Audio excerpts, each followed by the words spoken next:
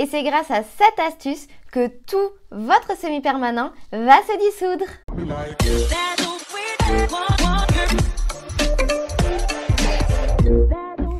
Hey, coucou les nailers, j'espère que vous allez toutes bien. Moi ça va super. Je suis en vacances, mais il ne fait pas du tout beau. Je peux pas profiter de mon jardin.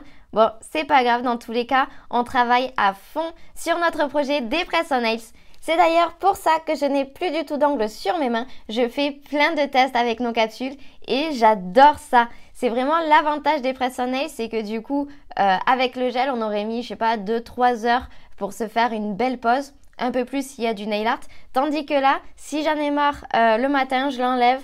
En 5 minutes, je remets des capsules. Et le soir, si je vais à une soirée et que la couleur n'est pas du tout accordée à ma tenue, poc, je les enlève et je remets d'autres capsules. C'est vraiment le top. Pendant mes vacances, je fais aussi des tresses. Alors voilà, là du coup, elles ont posé toute la nuit. Euh, le souci qu'il y a, c'est que je sais pas si vous, ça vous le fait, c'est hyper chiant. Ici, c'est tout plat et paf, il y a du volume ici. J'ai l'impression, ce matin, j'avais vraiment l'impression d'être Bonnie Tyler. C'est vraiment un truc de ouf.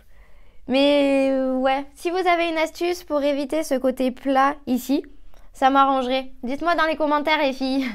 Et comme promis, même en vacances, je vous fais des vidéos. Et du coup, on se retrouve aujourd'hui pour voir comment retirer une pose de semi-permanent. Et pour ça, on va limer un peu et faire des papillotes. Et surtout, abonne-toi pour voir d'autres astuces. Allez, c'est parti Vous allez voir, c'est simple et rapide.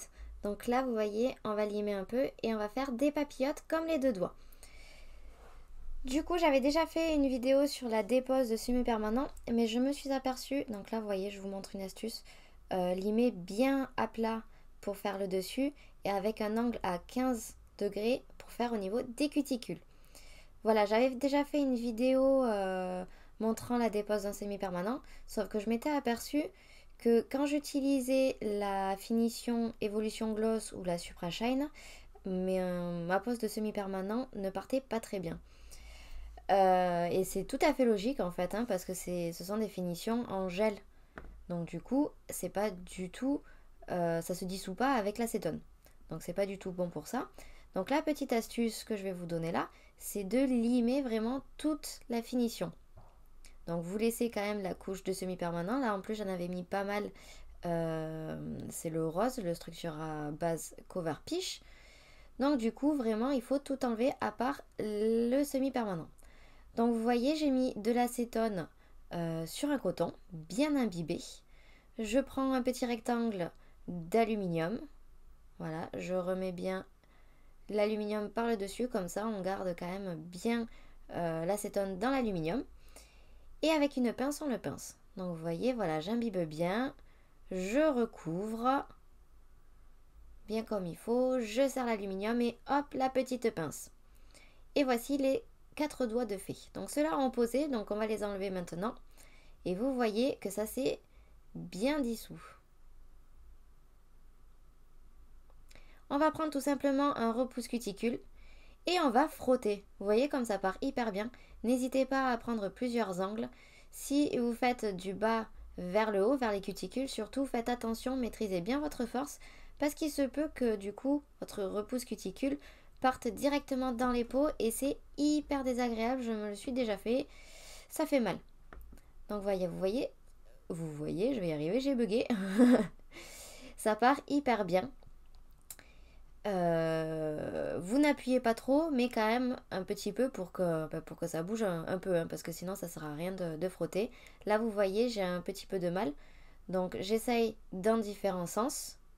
Et si vraiment je n'y arrive pas, j'essaye aussi l'autre côté du repousse cuticule. Il est un petit peu plus plat. On peut tester aussi.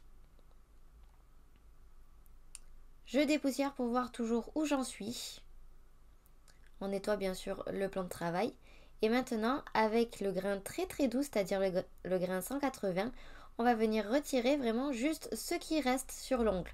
Surtout ne limez pas toute la surface de l'ongle parce que votre produit est bien parti sur à peu près toute la surface. Donc vous enlèverez juste quelques couches de l'ongle et franchement euh, ça affaiblit l'ongle, ça le fragilise et c'est mauvais. Donc là on refait la forme pour que ce soit joli. Donc là, moi j'aime bien quand j'ai les ongles naturels avoir une forme naturelle, c'est-à-dire un petit peu arrondi comme ça. Et on passe le bloc polissoir pour bien lisser la surface de l'ongle et surtout pour vérifier s'il ne reste pas de matière. C'est vraiment à cette étape-là que vous en apercevrez. Et voilà, j'ai retiré le tout, vous voyez, c'est nickel. Bon là bien sûr, je n'ai pas fait mes cuticules, je les ferai à la prochaine pause. Je passe un petit peu d'huile à cuticule pour hydrater mes peaux et l'ongle au passage parce que du coup il est nu. Je masse bien, ça j'adore ce moment, je trouve hyper agréable. On passe bien partout. Alors moi j'adore après me mettre une, petite crème sur les mains parce que je ne suis pas fan de la sensation qu'il y a sur la peau. Et voilà pour ma dépose. Et c'est grâce à cette astuce que tout votre semi-permanent va se dissoudre. J'espère que cette vidéo vous a plu. Si c'est le cas, likez-la et partagez-la.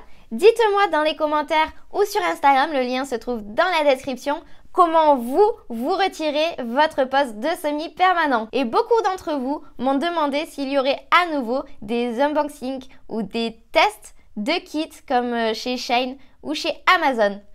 Et oui, justement, on se retrouve donc dans la prochaine vidéo pour faire un unboxing d'un kit d'acrygel de chez Amazon. Bisous bisous